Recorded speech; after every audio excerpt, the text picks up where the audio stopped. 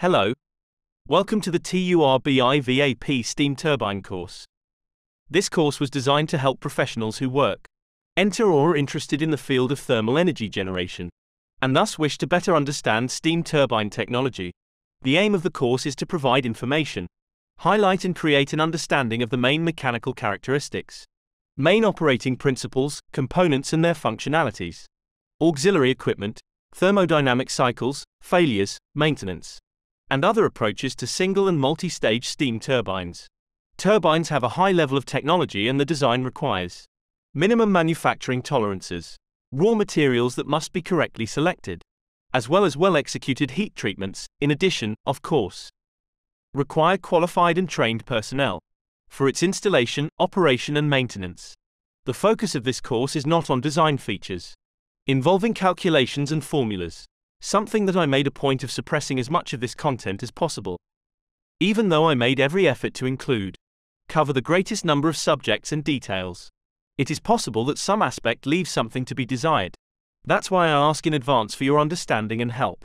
After applying the course, I ask you to please give your feedback, eventually punctuating what you missed addressing, or explore in more detail, as well as your overall rating.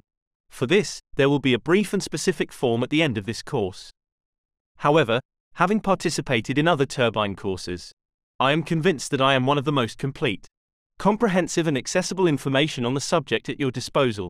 This course brings together and reflects personal professional experience, bringing together practical and theoretical aspects experienced over decades, working with low and medium power steam turbines. It also brings together concepts based on specific literature on the topic. The course will receive updates through reviews whenever new subjects are approached and explored in depth. Therefore, it is not a definitive product. Updates will be available according to the course acquisition date until its expiration date. Consult general information and sales conditions throughout the subjects as a way of delving deeper into the respective themes. There may be indications that refer to other content, including already published by me, and may even be openly public form. Therefore, always check the additional fields carefully of support material in approaching each subject. It may be that there is additional material as a way to increase interactivity and engagement in some moments of this course. Some QR codes may appear on the screen with auxiliary links, so you can share it on your social networks. If you would like some information about this course you are taking, we also have a course in face to face format, where we go to companies and we apply our course at your facilities to groups and teams of professionals.